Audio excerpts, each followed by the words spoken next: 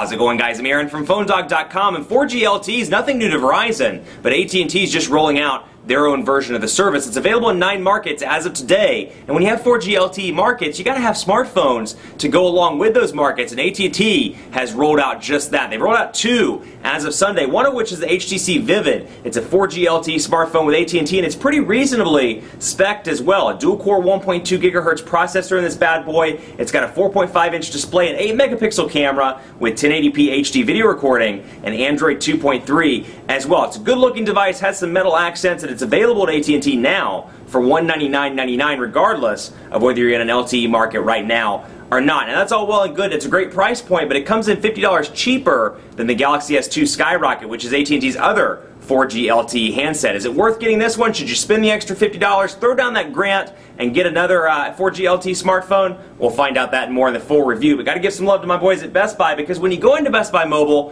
whether you get this, the Skyrocket, whatever, you'll walk out working. They'll help you set up your email, your web, get your camera settings set up and more so when you walk out the door you're not dealing with any settings, wasting your time, sitting in the car for 10 minutes while you figure out the settings at Best Buy Mobile, you'll walk out working. But enough of that, let's get into it. They hook us up with some awesome phones for Ustar One Paw Bandit giveaway, so we're always thankful to them, and as always, special thanks to AT&T for hooking us up with a unit. It's the review time.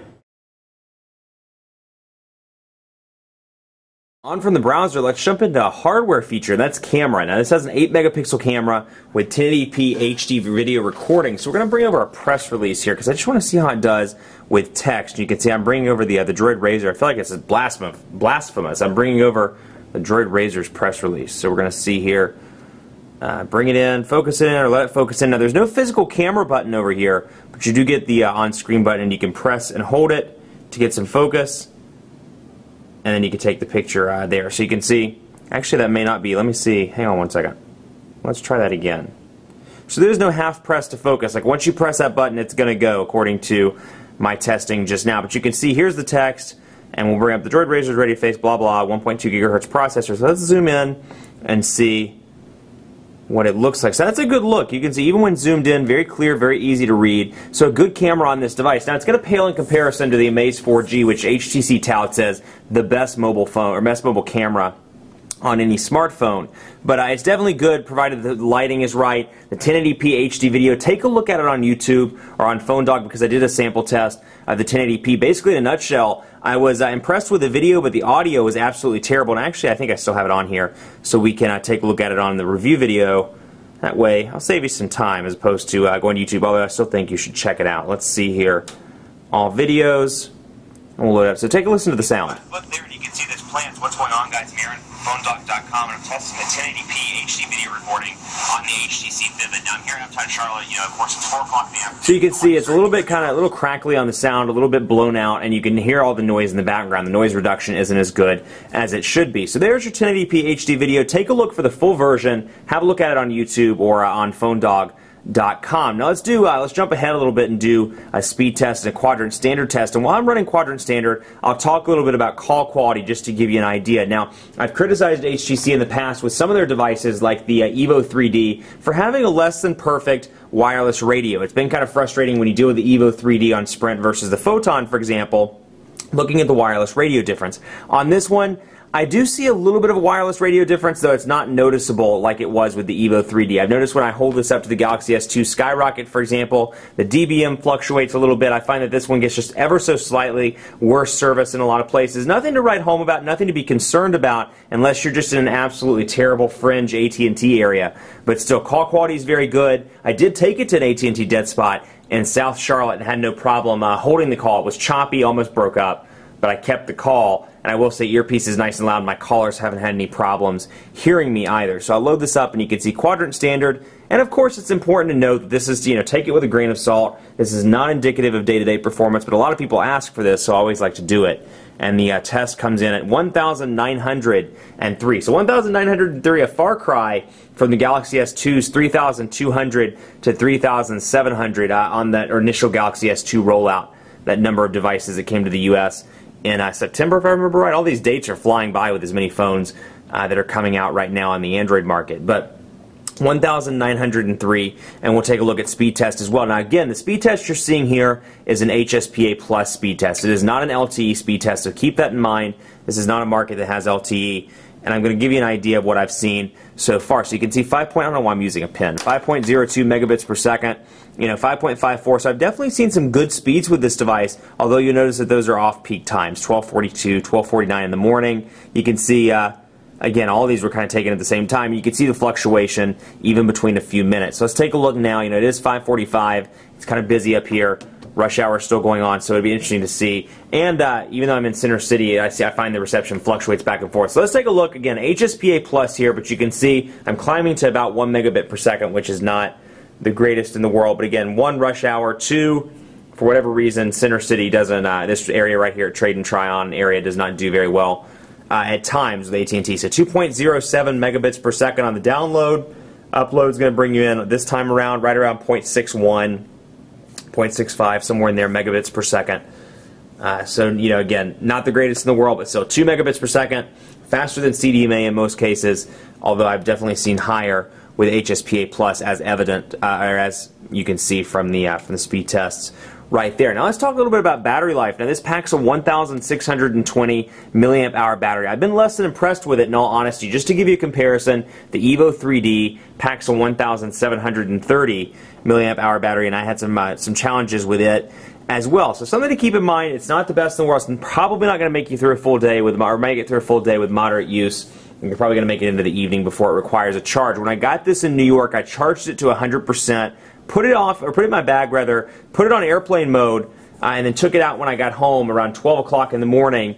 Turned the wireless back on, and by 10 o'clock the next morning, the battery had depleted pretty significantly, about 35 to 40 percent. So it may have been a fluke that one time around, but with moderate use, you know, text messaging, emailing, calling, I've gotten about 10 hours, uh, 8 to 10 hours out of it, but keep in mind that's on HSPA+. Plus. So I haven't done any formal testing in LTE, so I imagine that 8 to 10 hours will be a little bit less uh, in the LTE market. So something to uh, something to keep in mind there as well. But all in all, you know, a good looking device. Let's take a look at Hub and Likes because I want to actually focus in. I think I may have to log in before to let me into uh, all the way into the feature. Yeah, I'm to have to sign in. But something a lot of people ask for that I do want to honor in this review. Let's take a look at the music application. I don't have any music on this phone, so it's going to pop up and say no music found. And this is not a Beats phone, so you're not going to see any sort of Beats customizations. But just to show you what the music interface looks like, here it is, and if you had music, you'd see it here. And this really isn't a great example because I obviously don't have any artists on here. But you can see my library. I can search by media servers, and then I can customize by artist, albums,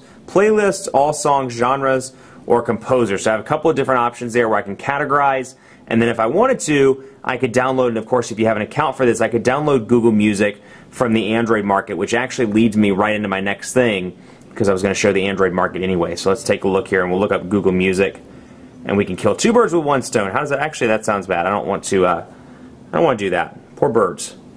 Google Music, you can see it pulls up here, and you can see also that the Android market's kind of experienced an overhaul here. It looks a little bit better if you're coming from you know, used Android, maybe you went to iOS or to Windows Phone, you're coming back. You'll notice a change in the overall design here, and that's what it looks like uh, in landscape. You'll see there's more of a gray and kind of orange uh, color scheme now. You've got the, uh, the text up here, you've got your screenshots up top, you have description, what's new, reviews, Trading a burger for raw meat, that sounds kind of kind of depressing.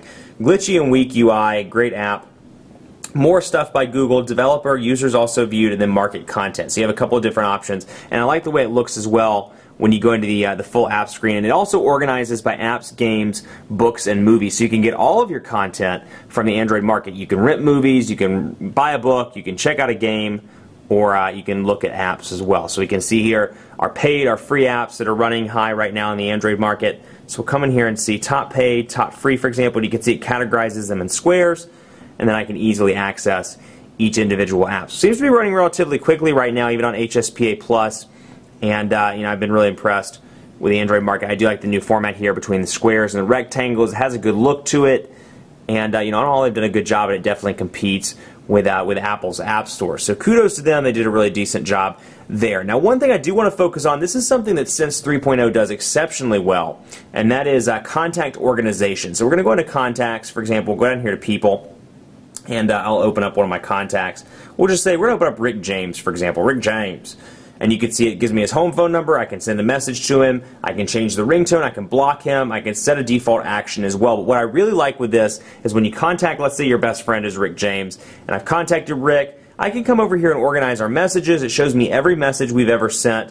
Uh, well, obviously messages before I've deleted them. Mail, which I don't like the fact that it doesn't bring in Gmail, uh, but it does bring in anything else. Actually, yeah, let's see, never mind. Okay, yeah, it doesn't bring in Gmail, but it does bring in if you have a POP3 or IMAP-based solution on your device.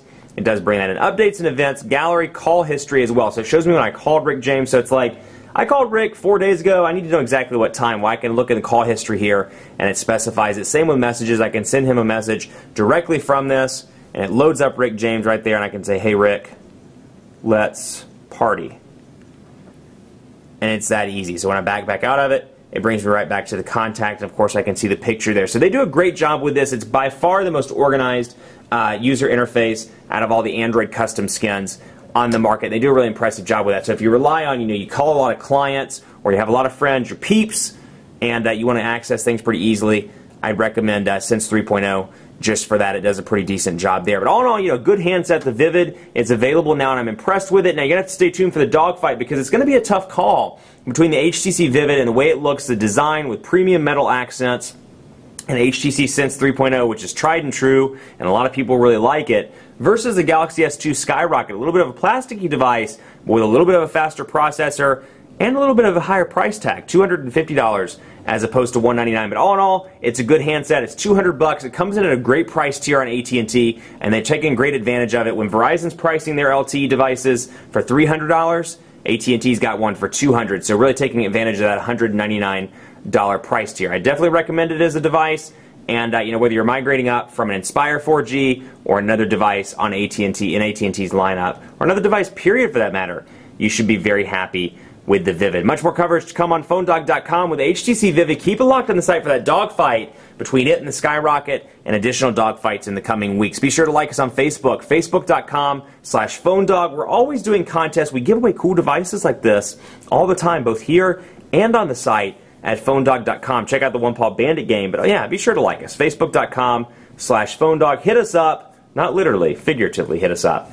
And uh, follow me on Twitter as well. PhoneDog underscore Aaron. Let me know. You bought this device on Sunday. You're loving it. You're hating it. You exchanged it for an iPhone 4S. Or you exchanged it for a Galaxy S2 Skyrocket. Let me know. PhoneDog underscore Aaron. And on Facebook at facebook.com slash PhoneDogAB. Thanks so much for watching. As always, keep it locked on PhoneDog.com. And also, we'll see you next time.